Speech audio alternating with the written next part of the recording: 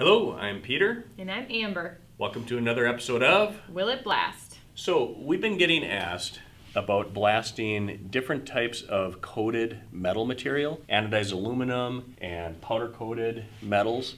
So, in this episode, we thought we would give it a try. We have a coffee mug that has a painted coating on it with metal underneath. What do you think, Amber? Sounds like a blast. We'll give it a try. In this particular mug, there's one section that's flat. We will put the mask on there. We have some mask prepared.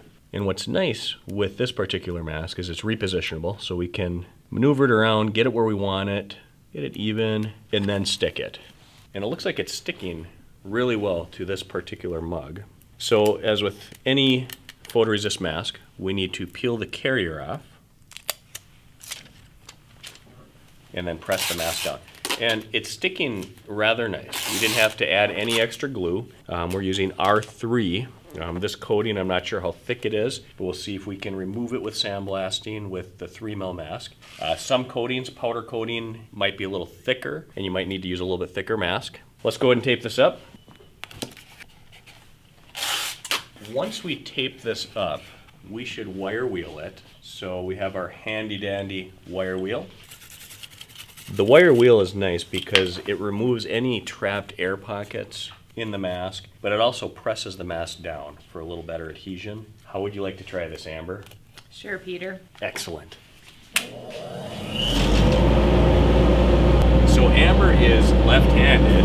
What's nice with our Crystal Blast Elite is you can blast right-handed or left-handed.